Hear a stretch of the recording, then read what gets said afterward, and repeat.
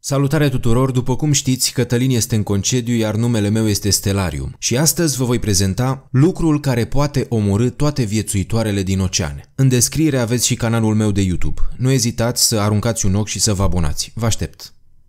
În prezent există aproximativ 194.400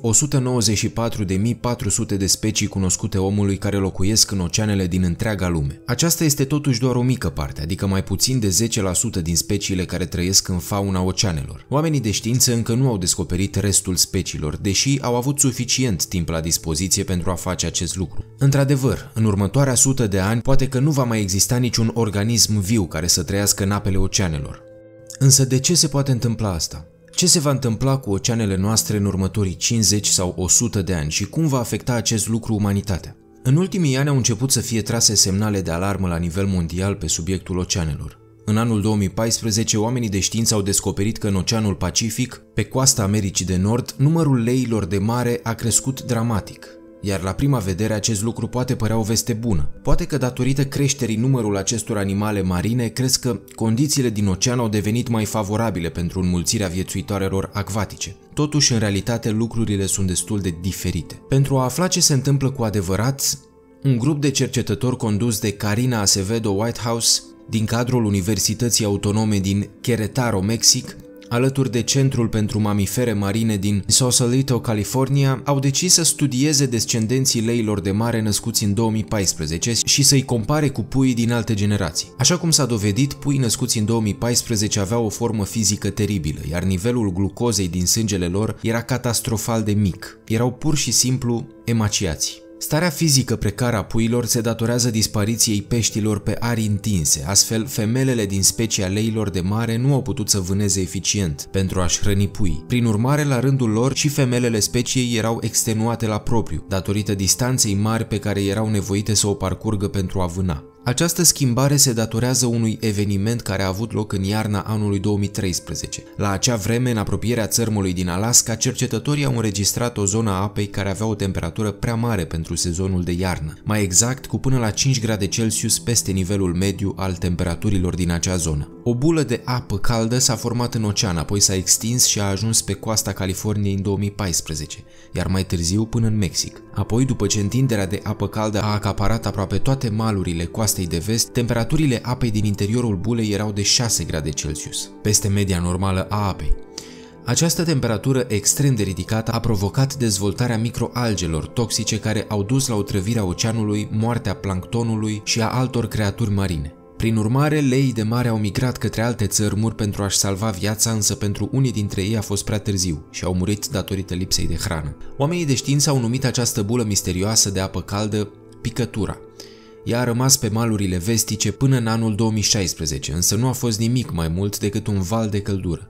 De atunci, oamenii de știință cercetează din ce în ce mai mult valurile termice similare din ocean, care pot avea aceleași consecințe negative asupra viețuitoarelor. Cu toate că cercetătorii cred că a fost un fenomen temporar, în 2019 un nou val de căldură a străbătut Oceanul Pacific și a forțat peștii să migreze mai aproape de coastă. Datorită încălzirii, crabii și moluștele au început să moară într-un număr exagerat de mare, iar aceste animale sunt verigă importantă în lanțul trofic. Prin urmare, extinția speciilor afectate de valurile de căldură poate crea o reacție în lanț asupra ecosistemului, ceea ce poate duce la reducerea masivă a numărului speciilor de viețuitoare. Schimbarea temperaturilor a contribuit de asemenea la moartea unui număr mare de creaturi din Oceanul Atlantic. Temperatura crescută a contribuit la înflorirea algei Sargassum, un fel de iarbă de mare care a ocupat aproape întreaga fâșie a Oceanului Atlantic de pe coasta vestică a Africii, până în Golful Mexic. Lungimea totală a acestei centuri de alge a fost de aproximativ 8850 de kilometri cu o masă de 20 de milioane de tone. Pentru foarte multe animale marine, sargasum poate fi o sursă de hrană sau locul în care să se adăpostească de prădători, însă în acest caz sunt prea multe alge.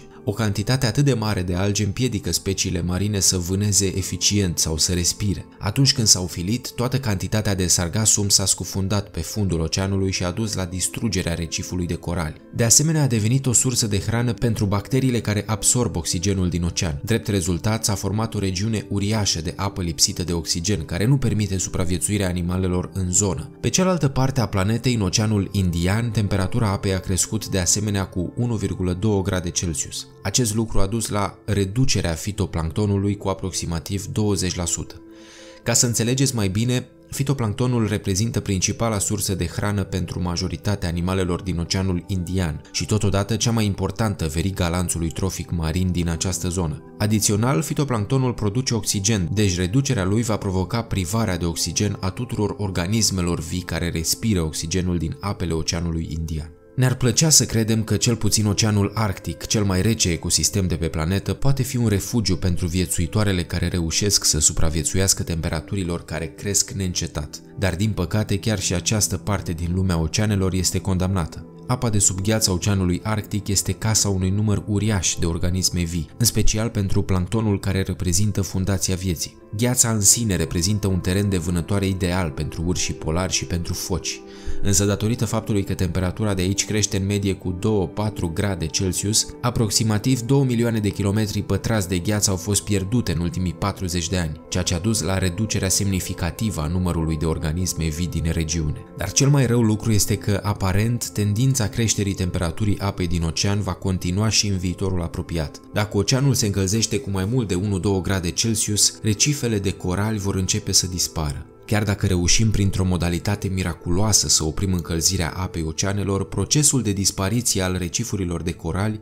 deja a început. Estimările specialiștilor spun că până în anul 2050 90% dintre aceștia vor muri. Ca urmare, algele care trăiau în corali și produceau oxigen vor începe și ele să moară, iar un sfert din toate speciile de pești își vor pierde habitatul, care cel mai probabil va duce la extinția tuturor viețuitoarelor marine. Merită să aflați că rădăcinile tuturor acestor probleme se află în afara oceanelor, pe uscat. În ultimul secol, oamenii de știință au înregistrat o legătură între creșterea temperaturilor din oceane și creșterea dioxidului de carbon din aceste ape. Unul dintre motivele principale ale creșterii cantității de dioxid de carbon din oceane este moartea constantă a recifurilor de corali și a algelor. Cu toate acestea, acest lucru nu este suficient pentru a duce schimbările oceanelor la scară globală. Cea mai mare parte a dioxidului de carbon care intră în oceane provine din aerul poluat și din solul toxic. Excesul care se află în atmosferă se datorează folosirii în exces a combustibililor fosili de către oameni. Adică cu cât omenirea produce din ce în ce mai multe bunuri materiale pentru uzul zilnic, cu atât mai mult dioxid de carbon este eliberat în atmosferă, ceea ce duce inevitabil la creșterea efectului de seră.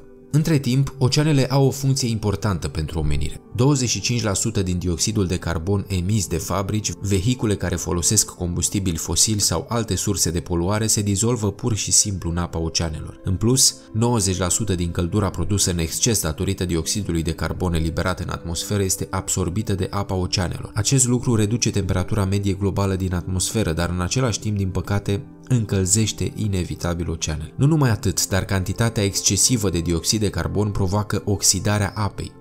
Acești doi factori duc la distrugerea întregului ecosistem, care la rândul său provoacă și mai multe emisii de dioxid de carbon. La un moment dat, apa va oxida și se va încălzi până la nivelul la care oceanul nu o să mai poată dizolva dioxidul de carbon, ceea ce va duce inevitabil la o creștere și mai mare a nivelului de dioxid de carbon din atmosferă. La rândul său, dacă poluarea nu va fi cel puțin diminuată, acest lucru poate duce la sfârșitul tuturor animalelor care nu se pot adapta la noile condiții de mediu. Adevărul e că în prezent 50% din oxigenul produs în mod natural care intră în atmosferă este din apa oceanelor. Prin urmare, atunci când toate formele de viață din toate oceanele vor dispărea, aerul de pe pământ nu va putea susține viața de-a lungul timpului. Drept urmare, umanitatea va dispărea într-un mod inevitabil, bineînțeles, doar dacă nu ne vom muta pe o altă planetă. De asemenea, folosirea plasticului la scară mare și aruncarea gunoaielor în ape contribuie la poluarea și încălzirea cu care ne confruntăm în prezent. S-a format chiar și o insulă uriașă din plastic în Oceanul Pacific, între coasta Americii de Nord și Japonia. Dimensiunile sale sunt incredibile. Insula de plastic este de trei ori mai mare decât suprafața terestră a Franței. Masa totală a acestor gunoaie din Oceanul Pacific atinge 790.000 de tone, dar cel mai rău lucru este că până în anul 2050 dimensiunile sale se vor tripla. Plasticul expus toată ziua la soare și care se descompune foarte greu este extrem de toxic pentru majoritatea creaturilor marine. Deci, distrugerea vieții din oceanele lumii alături de încălzirea globală pare că accelerează pe zi ce trece. Chiar dacă mai avem timp la dispoziție, cu toate că nu foarte mult, trebuie să găsim o modalitate de a preveni poluarea mediului înconjurător care va duce la o catastrofă planetară.